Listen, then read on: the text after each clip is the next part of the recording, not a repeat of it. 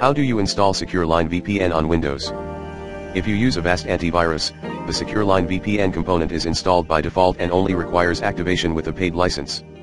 For activation details, refer to the following article, Activating Avast Secure Line VPN for Windows. If you do not use Avast Antivirus, you can download the standalone version of SecureLine VPN and then insert your license. For detailed instructions, refer to the following article, Installing the standalone version of Avast Secure Line VPN for Windows.